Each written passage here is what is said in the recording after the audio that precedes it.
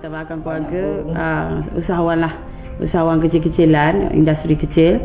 Ayah saya pembuat boot. Uh, boot laju daripada fiberglass Oh. uh, dan kami merupakan satu-satunya lah uh, peniaga bumi putera peniaga kecil yang membuat boot uh, menggun, uh, tanpa maksudnya handmade menggunakan tangan tanpa menggunakan mesin. Sekarang perniagaan tu diwarisi oleh uh, abang-abang saya uh, abang saya ni uh, berkelulusan uh, degree ijazah daripada universiti di uh, Akasas uh, Universiti di Amerika Syarikat. Uh, tetapi tidak ben, uh, bekerja uh, berminat tidak berminat untuk makan gaji. Kemudian uh, meneruskan legasi keluarga peniaga uh, bersama abang saya seorang lagi. Jadi sekarang ni ayah saya telah pencen dan industri ni disambung oleh industri kecil ni disambung oleh adik-adik saya lah abang-abang saya Bengkel di rumah lah buat. Bengkel uh, dulu masa ayah saya bekerja kami buat di rumah. Sekarang kami buka bengkel di Kuala Besut. Uh, kerana di Kuala Besut tu industri boot ni ataupun enjin ni uh, lebih majulah kerana uh, apa di- dia punya uh, dia punya sambutan ni lebih baik kerana berdasarkan industri pelancongan mula perhentian. Ha, jadi antara kami punya pelanggan adalah daripada uh, industri pelancongan dan juga boat lah boat untuk nelayan. Uh, boat kecil untuk nelayan ke laut dalam lah. Negara yang saya lawati yang saya wakili lah.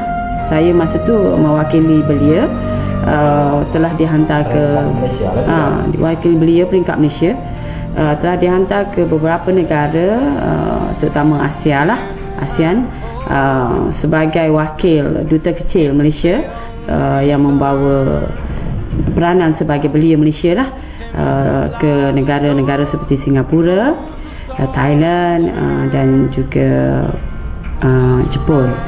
Banyak perkara yang saya belajar daripada pengalaman saya ini. Pertama semasa saya berada selama tujuh hari di Jepun, uh, di mana kita dijadikan anak angkat. Uh, kita bertukar uh, belia Fukuoka uh, Malaysia sementara beliau Malaysia dibawa ke Jepun ke bandar Fukuoka. Nah, jadi uh, di sini saya tengok uh, dari segi uh, industri kecilnya sangat menarik, pembuatan tangan, uh, pembuatan makanan segera dari segi mie, uh, buat uh, apa dia stitch dan juga buat uh, barang-barang handmade lah yang di- dibuat secara meluas di kampung-kampung dan um, apa dia disiplin kerja yang sangat tinggi lah di kalangan rakyat Jepun di mana waktu bekerja adalah untuk bekerja dan uh, pada waktu malamnya adalah untuk waktu istirahat dan juga waktu bersama keluarga dan juga Itu inline dengan dasar pandang timur. Ya, inline dengan dasar pandang timur. Kami dibawa ke sana. Jadi kami dibawa dibawa melawat ke kawasan industri kecil, melawat ke sekolah, sekolah menengah dan sekolah uh, sekolah rendah uh, di mana sistem pembelajarannya ditunjuk dan di mana kami juga dibawa ke perayaan-perayaan kecil yang disambut oleh uh, rakyat Jepun. Uh, kita tengok uh, di mana generasi mudanya sangat menghormati generasi tua tak kira di mana saja berada. Dan diorang ni sangat berdisiplin dalam melaksanakan kerja. Dan juga dari segi sektor kebersihannya. Kebersihan uh, rumahnya, kebersihan jiwa, spiritual dan semangat cintakan negaranya yang sangat tinggi. Saya nak sentuh tentang kebersihan. Hmm. Agak-agaknya bagaimana kalau diberi peluang ya. Katalah diberi peluang untuk menganggotai majlis ahli majlis daerah. Hmm. Apa cadangan yang puan nak bagi, cikgu nak bagi uh, ke majlis daerah bagaimana? Ah, cadangan ni saya tengok ni uh, kebersihan dari segi majlis daerah ni kita tengok di Korea. Contohnya di Korea uh, di mana Korea menyediakan uh, bakul ataupun tong-tong tong sampah tu, tong sampah yang um, yang di yang dikelaskan khas misalnya untuk uh, plastik bag satu untuk um, barang-barang sisa makanan satu untuk tin dan untuk kertas sa- maksudnya satu tong untuk satu jenis bahan buangan.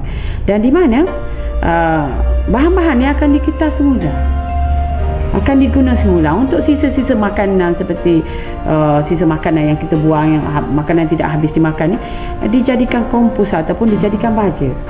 Ha, okay, uh, jadi Korea ni dari segi ni lepas tu um, ahli majlis daerahnya yang memungut sampah ni uh, dia orang uh, selepas buang sampah dia akan pastikan tong sampah tu bersih.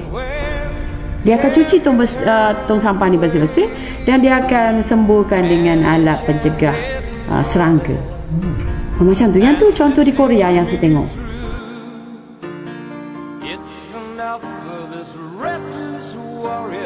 just to be with you and care.